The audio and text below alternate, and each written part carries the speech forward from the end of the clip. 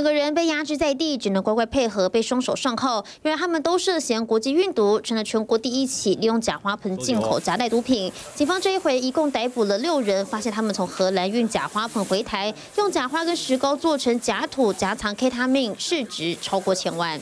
经检视包裹内啊，装载假六六呃六个花花盆栽，那重达十五公斤。进一步检查发现盆栽的容器内啊，夹九点二公斤的第三级毒品海他命结晶哦。那共计有十八包，那市价约千万。